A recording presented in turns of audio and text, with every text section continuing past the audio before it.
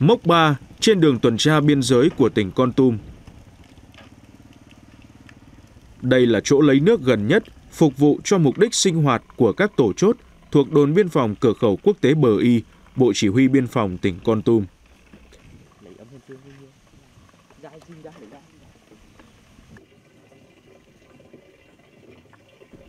Đoạn đường từ nguồn nước đến chốt gần nhất khoảng 6 cây số.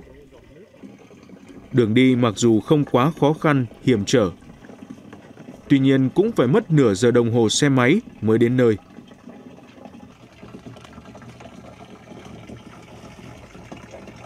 Những lần đi lấy nước, các thực phẩm, đồ ăn trong ngày cũng được mang theo rửa để tiết kiệm nước và thời gian đi lại. Lấy xong là khoảng chợ về chốt là vừa thời gian nấu ăn luôn đấy. À, đi từ đây về đấy xa phết đấy. Ừ.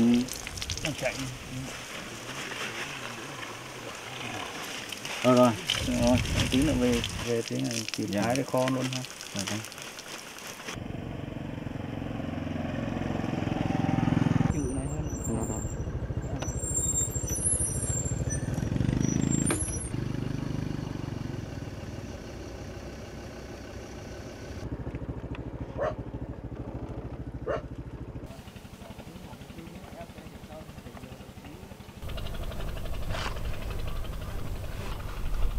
anh ơi, ờ, với ờ, hai can nước này thì ờ, mình dùng trong một ngày thì mình phục vụ chính là mục đích gì anh?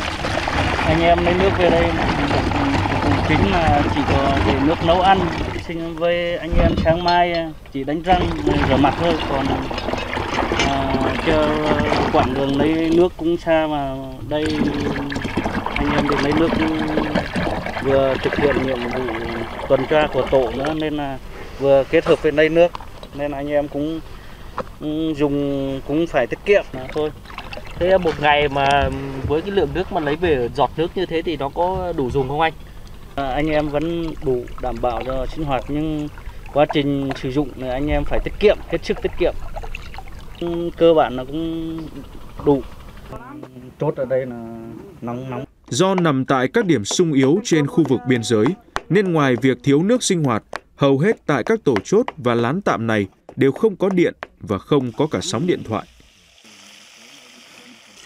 Thời tiết mùa khô Tây Nguyên khắc nghiệt, vì vậy để lán trại luôn được thoáng mát và sạch sẽ, phương pháp của các cán bộ chiến sĩ ở đây là sắp xếp đồ đạc thật gọn gàng để dễ dàng cơ động thực hiện nhiệm vụ. Chỗ nằm được kê cao tránh nắng nóng, lương thực thực phẩm được nấu chín, phục vụ bữa ăn cho bộ đội trong hai ngày – sinh hoạt vô cùng khó khăn, thiếu thốn, nhưng việc bám chốt vẫn được đảm bảo duy trì. Các tổ chốt với 100% quân số làm việc liên tục hơn một tháng qua. À, nhớ nhà nhưng hết dịch ta lại đỡ hơn thôi, nên anh em mình phải động viên nhau. Tối nay anh em mình ăn món gì anh Tâm ơi? Tối nay anh em mình ăn ờ, có cá, có thịt, có rau đầy đủ cả mà. Ừ. ừ đảm bảo đảm bảo sức khỏe để anh em mình còn chống dịch nữa chứ. Không có điện thì chúng tôi thì ở đây cái buổi tối thì dùng bằng điện ắc quy. Còn nấu quá trình nấu ăn thì chúng tôi tranh thủ những đồng chí nào mà không thực hiện nhiệm vụ thì nấu ăn sớm để anh em ăn cơm trước lúc mặt trời ờ, trước lúc trời tối. Để ăn xong chúng tôi còn thực hiện nhiệm vụ tuần tra kiểm soát về ban đêm. Cơm đi anh em ơi Tuyến biên giới của tỉnh Con Tum tiếp giáp với Lào và Campuchia, dài gần 300 km. Có rất nhiều đường mòn, lối tắt, địa hình hiểm trở. Đường càng hiểm trở thì các đối tượng càng lợi dụng để xuất nhập cảnh trái phép. Nhiệm vụ tuần tra, kiểm soát người vượt biên càng thêm nặng nề khó khăn. Đặc biệt, tại cửa khẩu quốc tế Bờ Y, đây là khu vực có rất đông lao động trong nước qua lại làm ăn, sinh sống cửa khẩu biên giới tạm thời đóng cửa nên lực lượng thực hiện nhiệm vụ trên các chốt chặn. Phải thực hiện tuần tra liên tục, canh trực 24 trên 24 giờ. Các tổ chốt thường xuyên thông báo, trao đổi thông tin, nắm tình hình, tăng cường, bổ sung quân số cho nhau để hoàn thành tốt nhiệm vụ. Đồng chí Cường ơi, anh và các đồng đội thì ở chốt này bao nhiêu lâu rồi? Thì tôi và tổ chốt tuần tra kiểm soát chốt chặn ở khu vực uh, chốt 8 này thì khoảng uh, gần 2 tháng nay rồi. À, phương pháp tuần tra đêm của các đồng chí là như thế nào? chúng tôi thường xuyên là phải nắm chắc cái tình hình nội ngoài biên và tình hình trên khu biên giới để tổ chức tuần tra mật phục thì phương pháp thì thường là chúng tôi giãn cách cự ly và tổ chức tuần tra để đảm bảo và khu biên giới nó không có vấn đề gì xảy ra thứ nhất là đảm bảo an toàn về con người vũ khí trang bị mang theo Cùng với việc tuần tra, kiểm soát, công việc thường xuyên của các tổ chốt là tuyên truyền người dân địa phương các xã biên giới nâng cao ý thức phòng chống dịch COVID-19. Khó khăn lớn nhất mà cán bộ chiến sĩ thường gặp đó là việc bà con nhân dân, nhất là hộ đồng bào dân tộc ít người tại chỗ, sinh sống, làm nương rẫy sát đường biên. Do đó, bên cạnh việc sử dụng ngôn ngữ địa phương để trao đổi trò chuyện, cán bộ chiến sĩ cũng phát khẩu trang miễn phí, sử dụng hình ảnh tuyên truyền sinh động giúp bà con dễ nhớ, dễ hiểu. Một số bà con ờ, làm nương rẫy ở trong sát biên giới, nhất là bà con ờ, dân tộc thiểu số, thì trình độ nhận thức của một số bà con còn hạn chế. Ờ, cho nên chúng tôi thường xuyên là lên tuyên truyền đến tận nương rẫy để tuyên truyền cho bà con sự nguy hiểm của cái dịch bệnh Covid-19. Ờ, đến nay thì cơ bản là ờ, bà con ờ, nhân dân đã nhận thức được cái sự nguy hiểm và bà con đã chấp hành tương đối là tốt theo cái khuyến cáo của Bộ Y tế. Chúng tôi là nông dân, làm rẫy thì cũng được đài, nghe đài và cũng chủ quan nên là cũng không nắm được cái dịch này.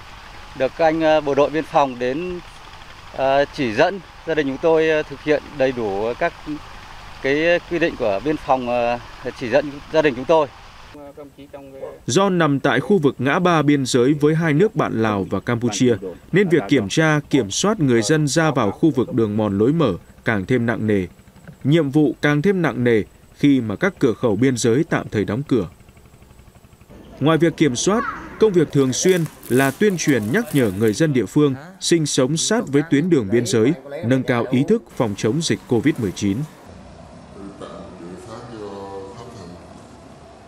100% cán bộ à, có cái quyết tâm cao, khắc phục khó khăn, đoàn kết, hoàn thành tốt nhiệm vụ, ngăn chặn, xử lý kịp thời, hiệu quả các cái hoạt động vượt biên xâm nhập, không để cái, cái hoạt động ờ, lây lan dịch bệnh từ ờ, ngoài vào ờ, biên giới, cửa khẩu và đơn vị địa bàn.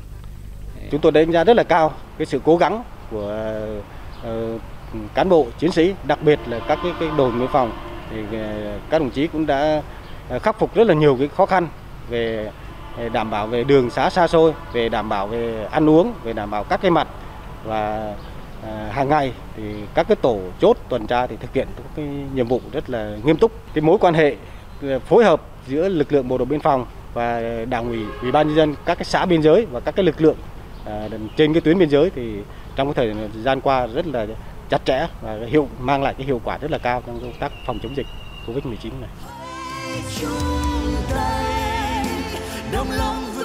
Tây Nguyên đang trong cao điểm của mùa khô. Trong cái nắng nóng hầm hập nơi khu vực biên giới, hàng trăm cán bộ chiến sĩ bộ đội biên phòng Con Tum vẫn đang phải căng mình chống dịch trong điều kiện thiếu thốn trăm bề. Nhưng với họ, khi được giao cho trọng trách là những người trên tuyến đầu chống dịch tại khu vực biên giới, họ vẫn đang cẩn mẫn hoàn thành tốt nhiệm vụ của mình để cùng với cả nước chung tay đẩy lùi dịch bệnh.